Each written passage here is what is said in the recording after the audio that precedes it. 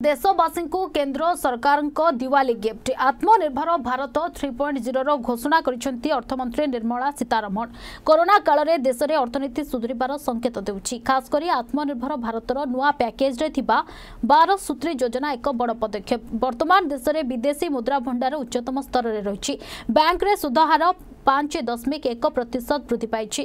ଅକ୍ଟୋବରରୁ ଡିସେମ୍ବର ଅର୍ଥନୀତିରେ ଆହୁରି ସୁଧାର ଆସିବ। କରୋନା କାଳରେ ମଧ୍ୟ ଦେଶରେ ନିବେଶ ଧୀରେ ଧୀରେ ବୃଦ୍ଧି ପାଉଛି। ସେପଟେ ରେଳ ରାଜସ୍ୱ ବଢ଼ିଛି। ଏଥିରେ ଆତ୍ମନିର୍ଭର ଭାରତ ୱାନ୍ ପଏଣ୍ଟ ଜିରୋର ବଡ଼ ହାତ ରହିଛି। ସେପରି one nation one ration card ଉପରେ ମଧ୍ୟ ଗୁରୁତ୍ୱ ଦେଇଛନ୍ତି କେନ୍ଦ୍ର ସରକାର।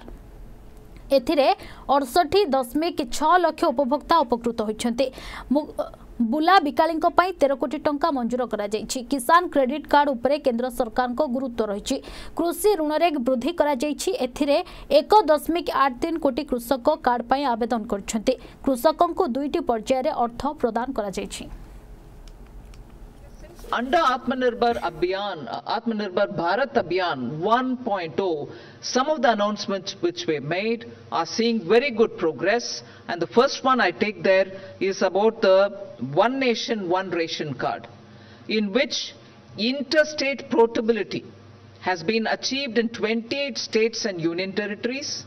They are all under the national portability of ration cards now, and from 1st September, they are actually effectively on in terms of giving uh, interstate portability.